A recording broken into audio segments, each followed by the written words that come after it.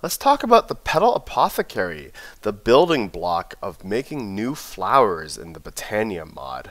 To make a petal apothecary, grab any mystical flower and place it in your uh, small crafting grid to turn it into petals. And then in a crafting grid, combine the petal with four cobblestone and two cobblestone slabs, and that makes you your petal apothecary.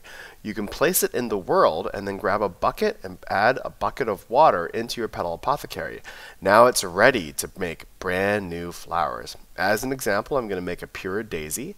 A pure daisy is made by taking two mystical white flowers and crushing them to make four mystical white petals. Every flower turns into two petals.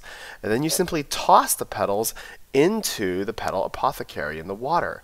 Notice how they swirl around inside. It's so cool to watch.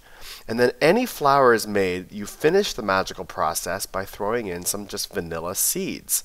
Toss those seeds in, and out comes the flower you get. And that's how I get my pure daisy. Happy Minecrafting!